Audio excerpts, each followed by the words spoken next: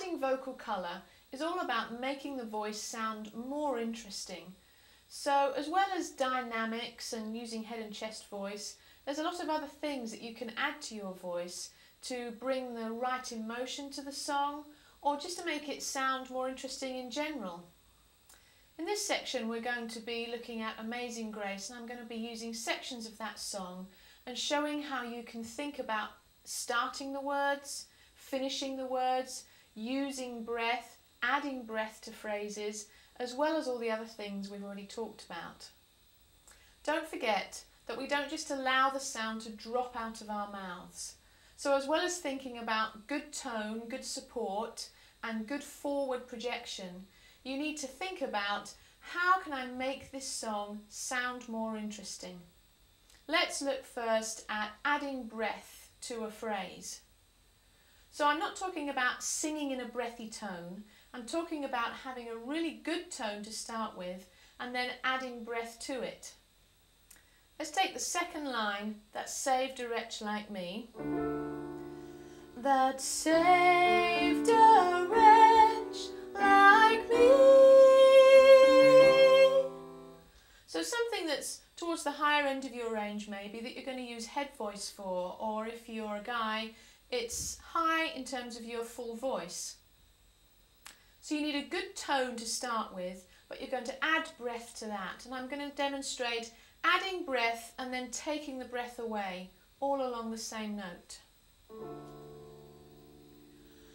That saved a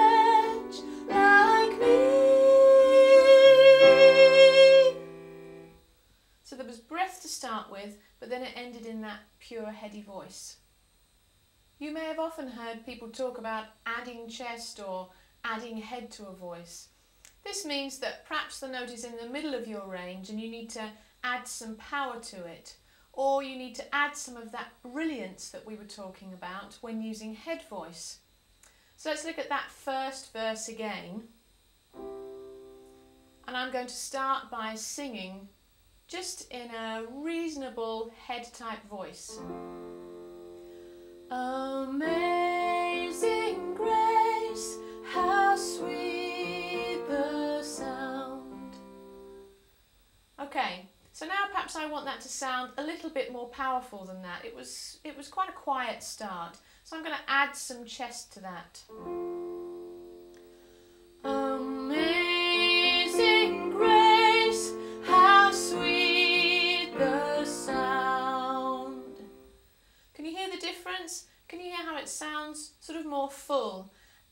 Could see how it would resonate more with the chest. Now let's look at the third line, I once was lost. And I'm going to sing that quite powerfully, but then show adding some head to it. I once was lost, but now am found. Okay, so now we want that to be a little softer, but not more breathy. Still considering using that brilliance.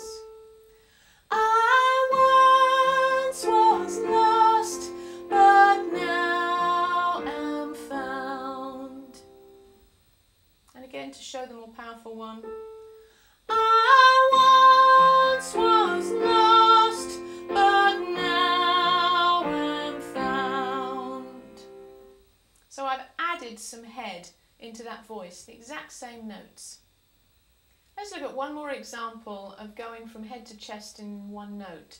So we're looking really at the word sun from bright shining as the sun. Bright shining as the sun. So that's achieved by really pushing on that diaphragm. It's not achieved by adding tension to the neck. Sun! You have to support that from here. Let's listen to that again. Bright shining as the sun. And now let's start off really soft and hear that crescendo and more of those chesty tones coming in. Bright shining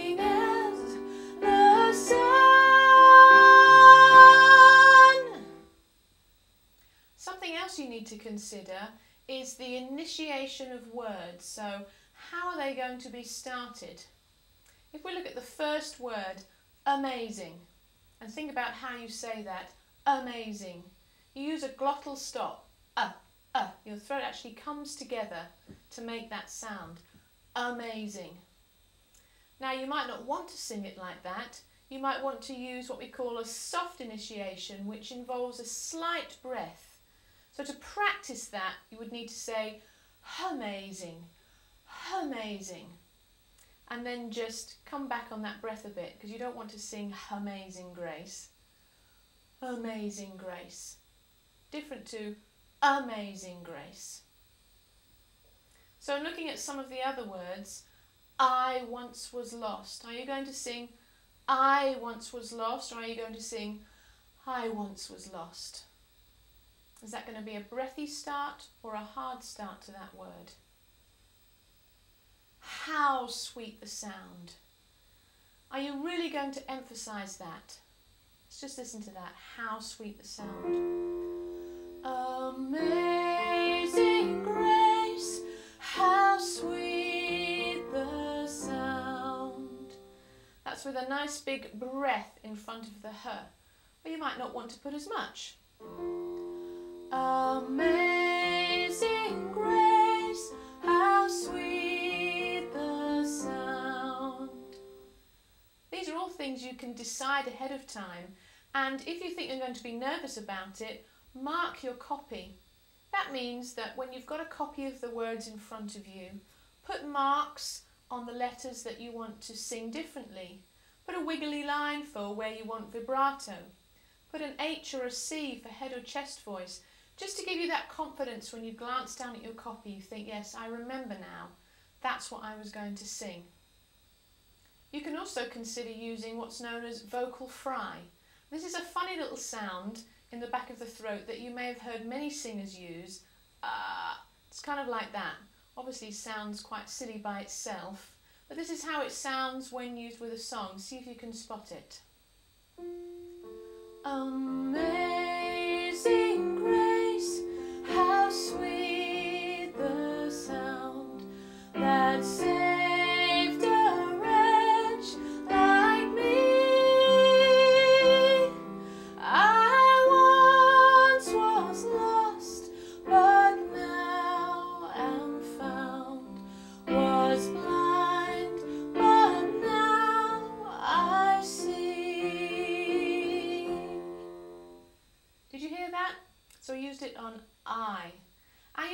overuse this unless it's really part of the style you're already singing, but it does make a difference to how the whole thing sounds. Also, you can consider the ending of words. Now, there's hard endings like saved, and there's soft endings like for the word hour, which doesn't have a hard consonant at the end, but you can put some breath in there, sort of drop off at the end, like this. The hour ah, I first believed. So you're sort of adding breath and you're emphasizing that word right at the end. You might not want to put something at the beginning of a word that you're making the most of the end of. Just choose one or the other. When using vibrato, you can add what we call a vibrato tail. This means that the sound is straight to start off with and then goes into vibrato right at the end of the note. Let's look at the last line, was blind but now I see. Was blind but now I see. So it's just adding that tiny little bit of texture. You don't want to overdo it and remember, if you're singing with other singers, Make sure you know how their vibrato sounds as well so you're not clashing. What I'm going to do now is sing the last verse of Amazing Grace, When We've Been There 10,000 Years. I'm going to sing it in a sort of flat manner. I mean, using good tone and support, but not really adding anything extra. Then I'm going to sing it again, adding vocal colour.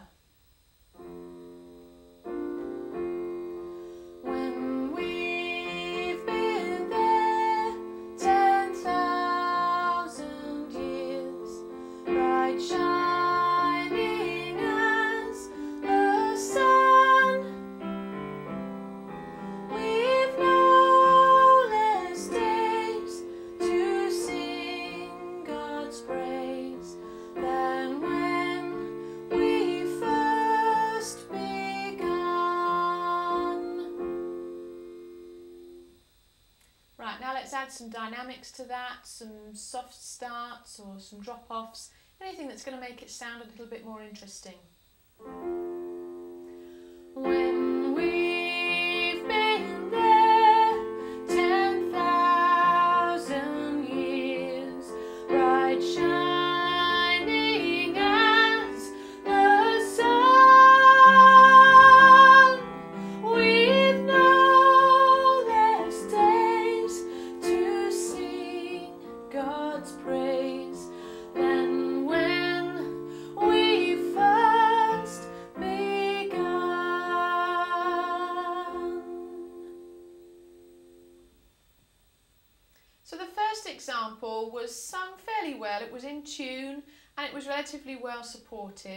Nothing really too wrong with it.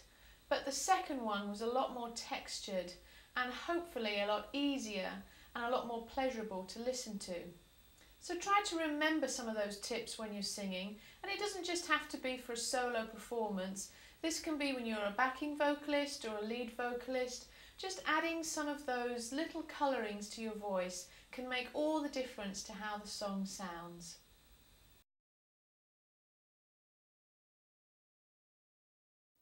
Now we're going to do some broken chords. These are based on arpeggios, but they're done in a sort of sequence of triads. That's going up and now coming down. And we finish on the fifth. Let's just listen to that again. Ah, and coming down.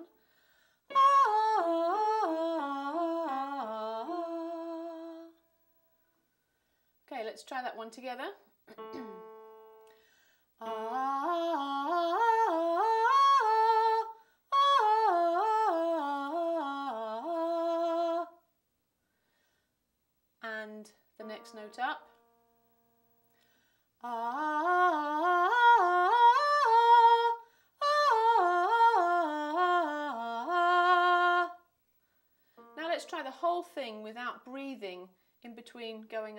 And down.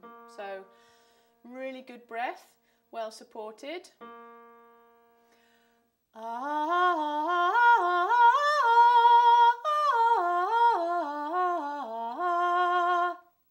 the next note up.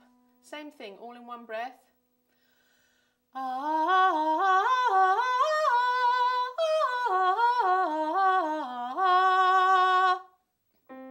Same thing, except this time we'll sing E.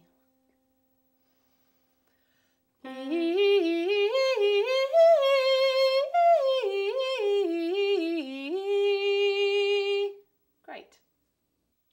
This exercise helps with endurance, so that's breath control and agility. And what we're doing is singing one, two, three, one, moving up a note, one, two, three, one, another note, one, two, three, one, and another note, one, two, three, one, and then coming back down. Sort of creating like a scale, but using all the notes in between. This is how it goes.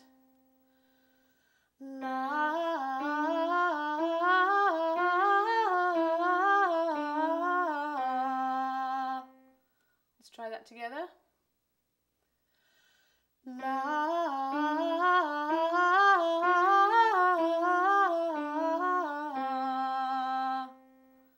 the slower you do it, the more breath you need, and the faster you do it, the more agility you need.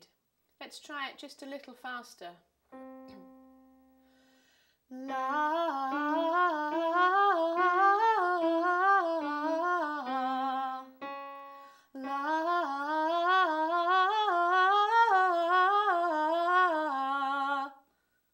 Okay, now we'll do a few in a row.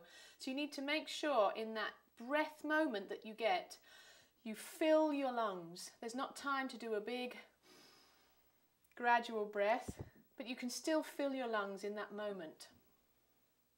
We'll start again on C and do a few in a row. La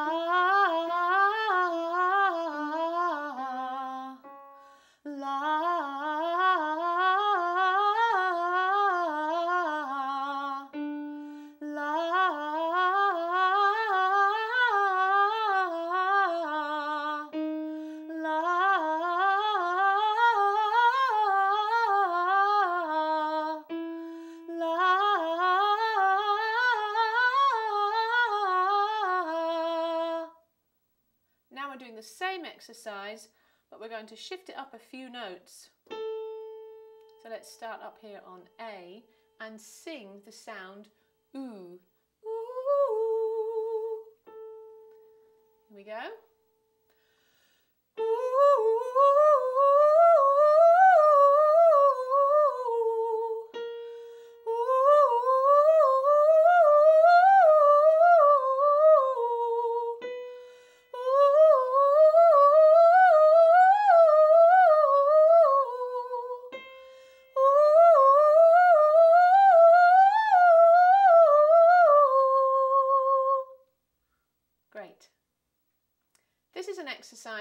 Tune of the William Tell Overture and we're going to start off quite slowly but not too slowly because it has to be done in one breath. You can make up your own words to this. I'm choosing to sing Sing a Song to start off with and really you can come up with anything, a name that works or a phrase that works. The idea is to get that jaw warmed up a little bit and the tongue moving very quickly because it's quite a quick sort of staccato exercise. Sing a song, sing a song, sing a song, song, song, sing a song, sing a song, sing a song, song, song, sing a song, sing a song, sing a song, song, song, sing a song, sing a song, song, song.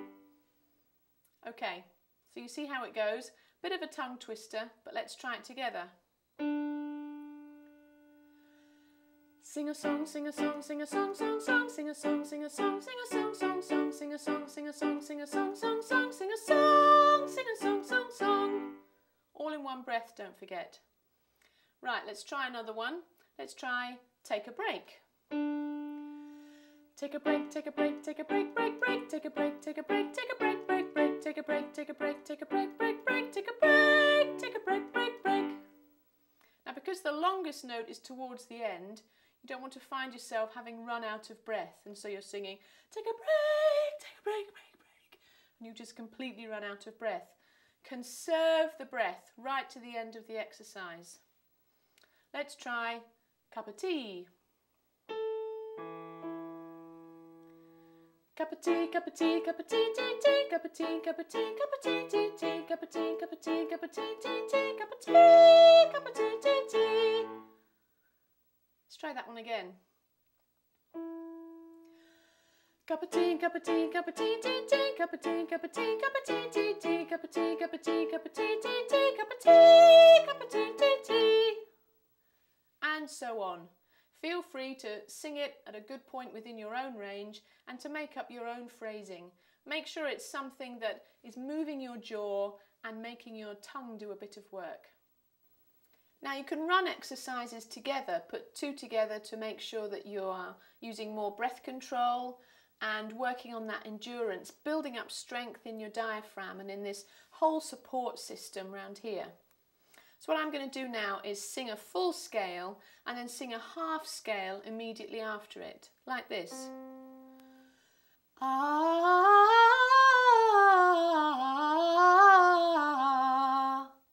So that was the full scale, up and down, and then the five notes that we've sung a lot. Let's try that together. Ah.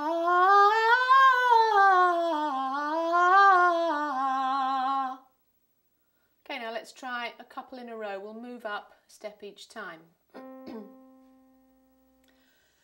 ah.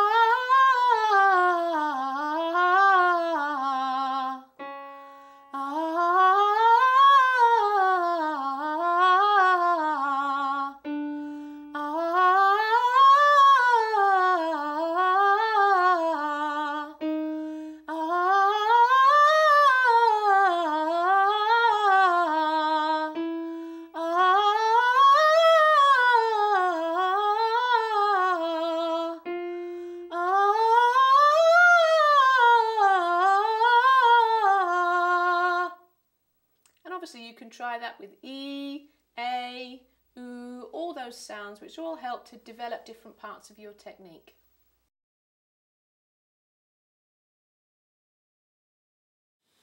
Uh, I've not really had much formal musical training. I, I did get some violin lessons when I was in school, but I was using those to get out of geography and physics, and eventually I wasn't getting any better at the violin. So they, they, they kind of figured out what I was up to. But it actually gave me an understanding uh, of scales, uh, of music. I was able to play the violin, I was able to read music. Uh, so that was some formal training, and uh, that's really helped me. I mean, basically, as a guitar player, I just learn continually. I watch other people playing, I learn from them, uh, and that's really it. You never stop learning. So um, I'm always looking for fresh ideas. Um, in terms of vocals, uh, once several years ago when I was leading a worship team, uh, our vocalists were so bad that we had to turn the mics off on a Sunday evening.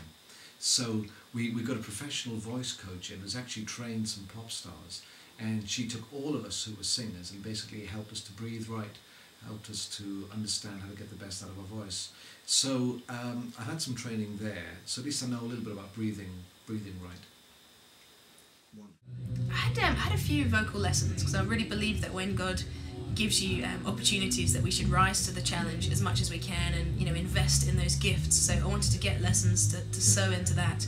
And uh, I did find them helpful. Um, I learnt uh, quite a lot about breathing and breath control and taking much bigger breaths I was fortunate enough to study singing at school so that was one of the instruments that I took uh, as part of my subject which was music. So um, I've done a lot of that and I guess I, have worked out a way of singing that doesn't hurt my voice. So that's, I guess, the main thing. I've, I've gone through the lessons and done that. But um, for me, it seems like the songs, um, learning to sing a song is a bit like the high jump. I mean, it's almost like you, your muscles have memory. And, and, the more I sing a song, in a particular key, um, the more comfortable my, my voice is with that, and the less strain on it um, there appears to be, and also the more in tune and more pitch perfect, not pitch perfect, but at least um, more in tune I can sing. So um, even if I can sing a song in the key of B major, if I move it up to C major, my muscles are gonna go, huh? That's interesting. I haven't sung that before, and I'll, I'll struggle a little bit. So uh, I think it was Johnny Cash. He was asked, um, "How do you make a song your own?" He used to sing songs that other people wrote. He said, "I'd sing the song a hundred times, and by the time I finished that, comfortable with the song. I feel like it's my own, and I can sing it." And I guess there's a, an element of truth in that for me. The more I sing the song at home, or you know, the more I sing it in church, the more comfortable I am with that. And that's how I, I kind of get my voice ready for leading worship.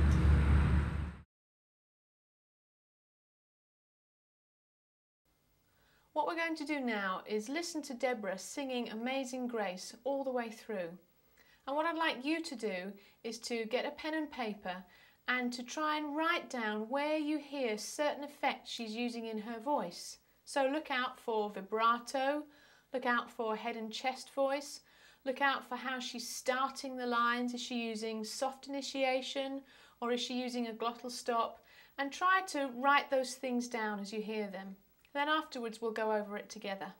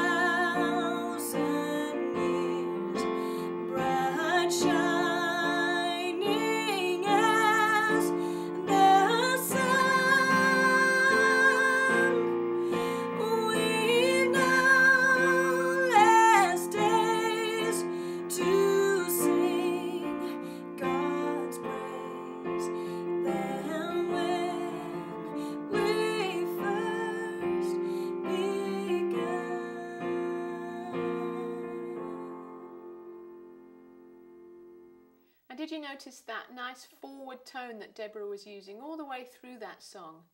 It was really good. Now let's have a look at what she did in terms of what techniques she used and let's see if you wrote down the kind of things I'm going to say. So the first verse, she started off fairly confidently but not too loud and she added a little bit of vibrato on the longer words right at the beginning, amazing and grace, and then on sound as well. Now she made the most of that word saved, that saved a wretch. You don't have to do that. Your other option, of course, is to just sing that very softly, saved a wretch. But she kind of took a breath after that, made the most of that D.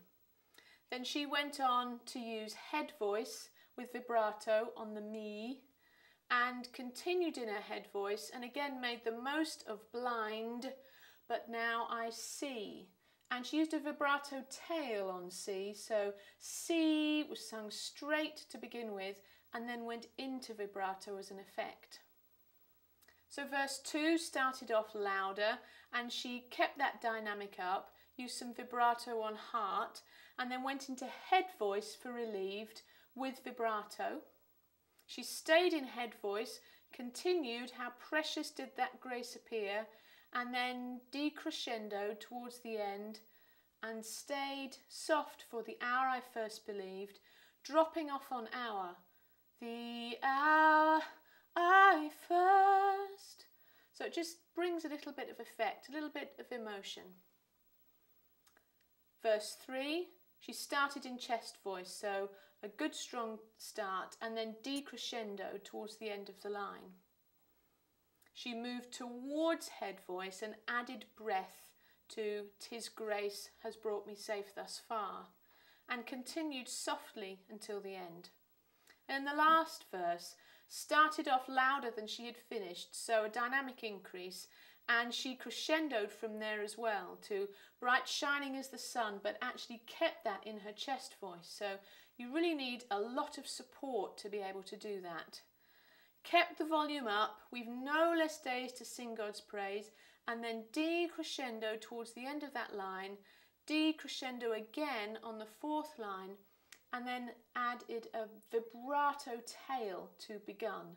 So begun was sung straight and then a vibrato tail to end. Now, when you're singing that song, what goes through your head? How do you approach singing a song with a relatively big range like that?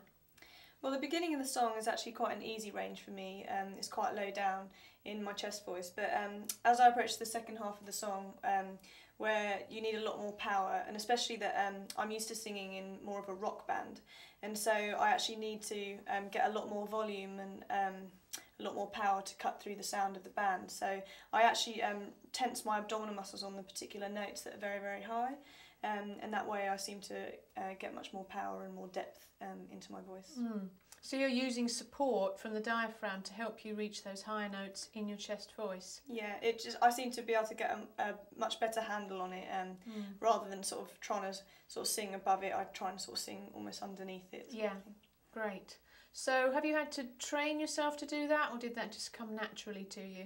No, I've definitely had to um, train my chest voice to go much higher than it would normally go, and like I said, it was because um, of uh, singing in that style of music. Mm. Great, thank you.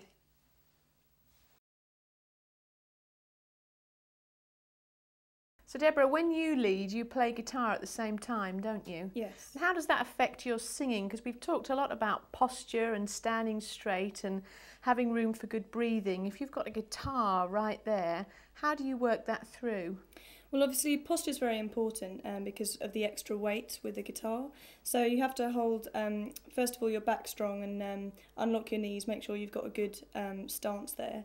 And um, with regards to uh, singing long passages where you need um, a lot of breath, I actually hold my guitar slightly to the side, so it's just resting against my stomach and on the side of my stomach more. And then that way I can uh, get enough breath and still carry on playing the guitar.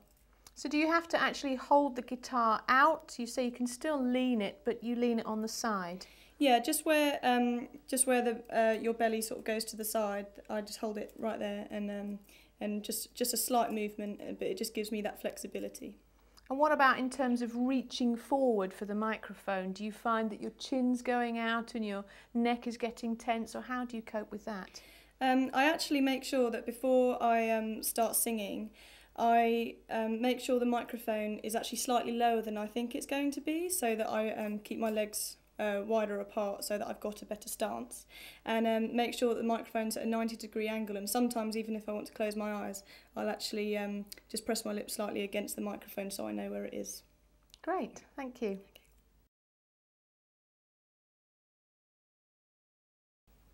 Everyone has their own way of choosing songs. Now when I'm leading worship I like to consider a couple of things. First of all, I'm going to start off with songs about God. Now, you might think that sounds really obvious, but it's very easy to find a lot of songs about what I'm going to do, about what we're going to do, about my intentions, and although they're sort of about God, they're not really declaring the characteristics of God and who He is. So I like to start there. Let's declare who God is. Let's think about what He's like, His character, His attributes, because those things never change. And it doesn't matter what kind of state I'm in, God never changes. He is always faithful, He is always loving, He is always true. And declaring those things together as a congregation is very powerful. It's a statement that only us as Christians can make. Now, from there, you may want to move to songs of intention. In response to who you are, God, I am now going to say this or do this. So, songs about what we might do as God's people or what I might do as a person who has a relationship with God. But it's always out of that context of remembering that we worship God for who He is, not necessarily for what He's done, although that often comes into our times of worship we also need to recognize that our bodies and souls might need a bit of encouragement. Now, there's lots about this in Scripture, particularly in the Psalms. For instance, Psalm 103 says, Come on, soul, worship God. You've got to tell yourself sometimes to get into that frame of mind. And so often a song about that is a really good choice. Without saying from the mic, come on everybody, let's praise the Lord, let's get our souls in line with what God is doing, we can just sing a song about it, or perhaps read a psalm. Now, I also like to think about keys in choosing songs, and I'm renowned for uh, choosing songs that are all in the same key, or if not, we just sing them all in the same key. And the bands that play with me know that they have to be versatile. Now, you don't need extreme versatility, but you can choose songs that are in similar keys that run together well. So you haven't got loads of gaps and restarting and looking around and page turning, that you can make that flow a little bit easier. So I always consider that as well. And when I'm preparing my choice of songs, I think do they run together well in terms of key, in terms of musically and tempo? Will that be an odd stop and start, or will we be able to keep the flow of the worship going? So, to summarise, I think theme is definitely more important. You have to consider where is God leading your community if you're responsible for choosing the songs. Key is a consideration, but a secondary consideration really. You don't just want to get your favourite songbook, pick all the songs in G and think, well, that's going to flow very nicely it's very important to consider the journey that you are all on as a community and as a congregation and choose your theme accordingly.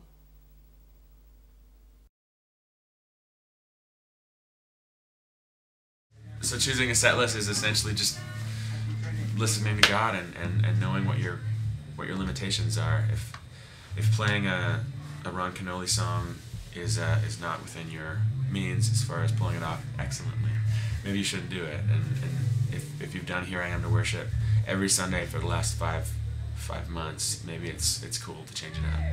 All those things play into it. Where where's the heart of the church at, at that moment? What's the what's the pastor talking about? Figure that out, and and it's always great when um, when a worship set can kind of serve the sermon and complement it. Um, and I know that pastors appreciate that.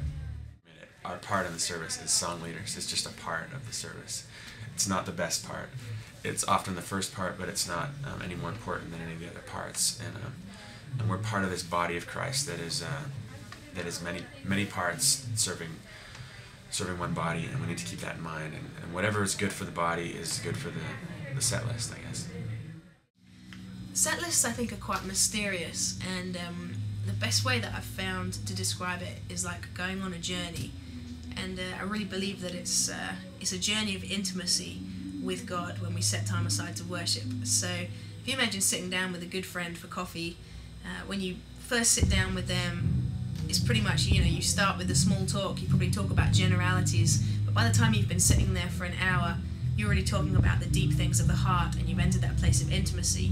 And I think for me, worship is like that. When people come in on a Sunday morning, often they're not ready to just pour out their hearts to the Lord. They're not in that intimate place, maybe quite yet. Um, and it takes a while to warm, you know, warm us up into that place of just feeling vulnerable before the Lord to really share our hearts. So um, the first few songs I would see as like a call to worship. So I would choose songs that are upbeat in nature, just because people come in and it kind of helps everyone just really get um, get called into to worship and kind of wake up if it's early in the morning with some upbeat songs, songs that declare who God is, what He's done, and the universal truths of the gospel. Because uh, it doesn't matter how you feel or um, what situation you're in, you can still join in and enter in that first phase of worship, which I would see as calling people to worship and entering into uh, praise of the character of God. And then after that, I would choose songs that are more about uh, intimacy with God or our response to Him or asking Him for things. Uh, as people are kind of um, walk down that road, it's like we we kind of let our guard down and we relax and we enter into the presence of God. And in that place, then we can we can do more of like the intimate um, exchange of lyrics and um, and emotions. And then often at the end of the set, I'll try and choose a song that's outward focused, so that um, we leave the place of sung worship, really committing to go out and uh, and live lives of worship. So maybe songs that are about uh, mission or um, reaching out to other people with the love of God, so that we we leave on that kind of note. So, what do you do when you have to sing but you've got a cold? Oftentimes, when you do have a cold, you get a sore throat. Sore throats need to be soothed, essentially. Now, I would highly recommend honey and lemon. That is a fusion that works very well. It does essentially two things. The acidity of the lemon cuts whatever phlegm is in the throat, and then the honey gives it a soothing effect. So if you've got a raspy throat, the honey will soothe it. Now here's an addition. I recommend that you get a clove of garlic or two, if you can handle it, and crush that clove of garlic in there with the honey and the lemon. The honey should cover the taste of the garlic, but it would really help with the whole system, the soothing process in particular.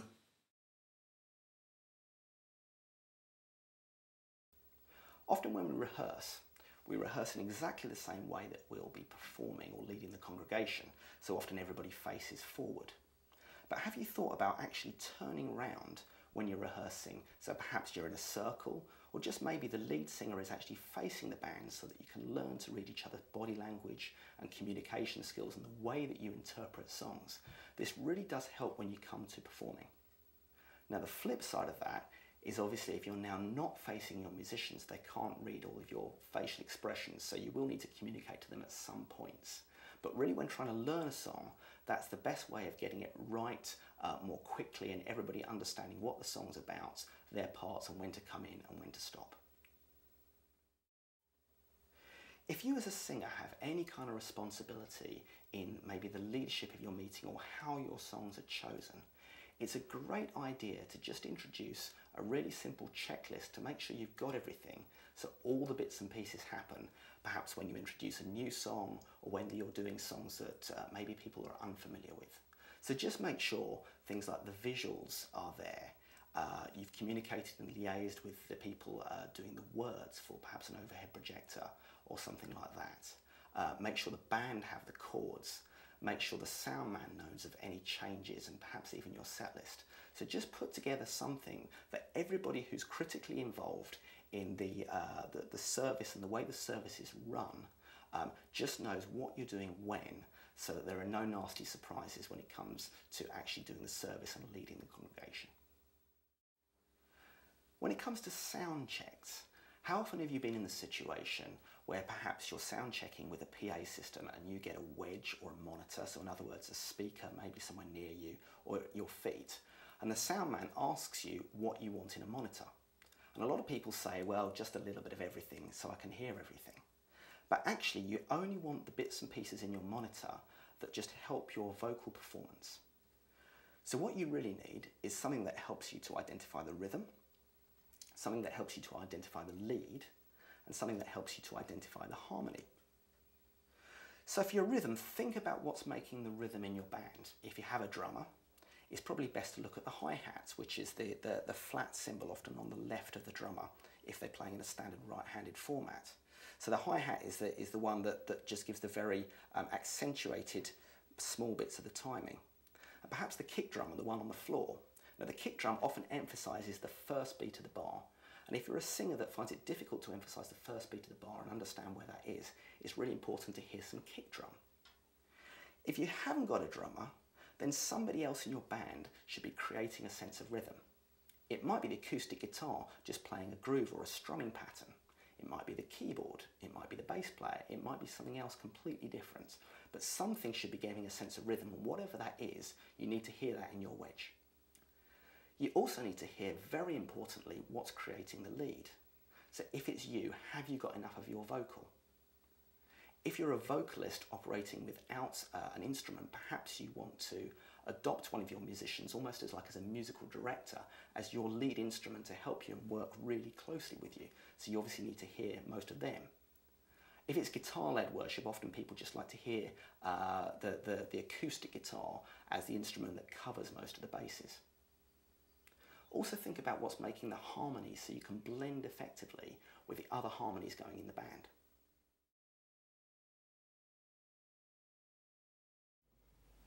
When teaching a new song, I think it's really important to be very clear about what the tune is. So to start with, everybody that's singing should have learnt the same tune.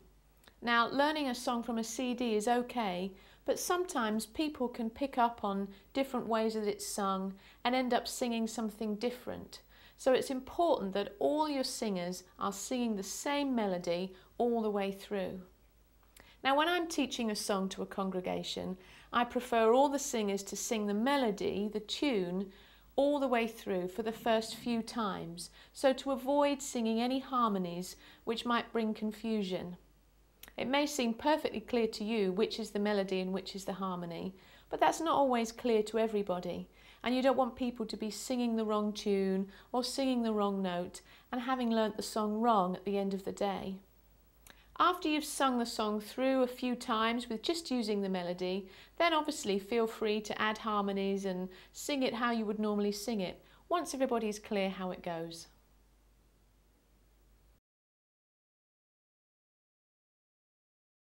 I try to teach new songs in the least obvious way I can.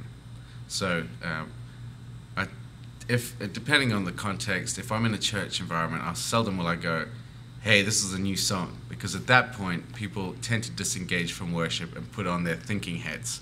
Um, I know I've raised a whole lot of theological issues by saying that, but basically, people disengage from worship at that point. So I try not to say that. What I'll tend to do is I'll, I'll introduce a new song at about th- three or four in the, in the set list. So it'll be the third song, the fourth song. Seldom, never will it be the first song because that's the moment when you want to draw people in, and a new song is just another barrier to worship. So um, I tend to introduce new songs later on in the set. Um, I introduce them next to songs that sound a little bit like them, at least rhythmically or in in a similar key, and uh, and thematically, so that it's not a big adjustment. If we're in the middle of worship and we we start a new song that's centered around a similar theme or verse in the Bible, it's not going to be a big stretch for them. I try to introduce new songs as unobtrusively as possible. I'm really intentional about teaching new songs because I want to make sure that people aren't um, aren't missing it. I think uh, you have to be really careful not to incorporate too many at the same time. Obviously, uh, I've been at worship services where I haven't known one song, and I don't think that should ever be the case. Even if uh, you're playing in front of a really familiar group that meets every every week, there's always people that are coming in that have different experiences than the vast majority. I think it's even if it's just one song, one familiar hymn or chorus, we always try to incorporate that. And, and for us, um, we have our own songs which we try to incorporate, which which enter a new challenge because a lot of times nobody's heard of them. So we try to make sure that it's only two or three in a service, um, especially when we're um, we're there to lead worship for people that people are going to know.